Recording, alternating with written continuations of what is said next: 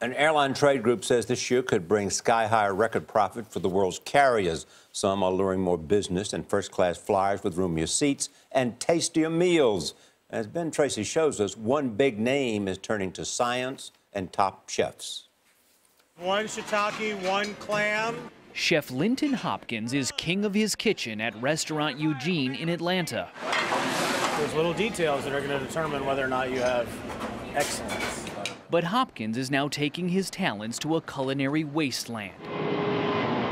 The most maligned of all menus, airplane food. It's so bad it has its own website filled with pictures of mystery meat, cheese sandwiches, and what one passenger called bread with seasoned tuna crap. Is part of this about trying to defy expectations? Absolutely. Uh, I know for a fact no one should have bad food anywhere. Linton Hopkins, we're happy to have you. Hopkins won Delta's cabin pressure cook-off. His menu is now being served on board. The airline is hoping to land coveted premium class passengers. They make up about 15% of the seats on long-haul routes, but account for as much as 50% of the revenue. Hopkins found cooking for them is not easy. Certain foods just die. Like ice cream is great. Sweet really works.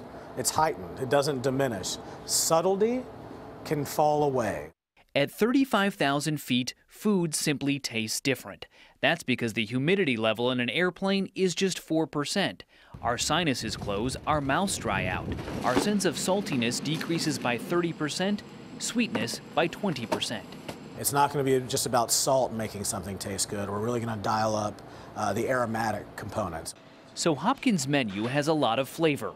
Pickled shrimp and sriracha mayonnaise. There's Creole fish and dessert is both sweet and salty. There's a cliche about airline food. Peter Willander oversees Delta's onboard services. The airline prepares more than 9 million meals each year. Imagine that at 35,000 feet. And has its own sky sommelier to pick out the wine. When you're trying out menus, do you actually taste the food and taste the wine up in the air so you know what it tastes like? We, we do. And we have our sommelier or our chefs go on board and do that as well to make sure that what they've selected uh, on the ground actually has the same appeal up in the air. Better airplane technology will also help. The new Boeing 787 Dreamliner increases humidity levels to 15%. That means the food on the plane will taste four times less plain. For CBS This Morning, Ben Tracy, Atlanta.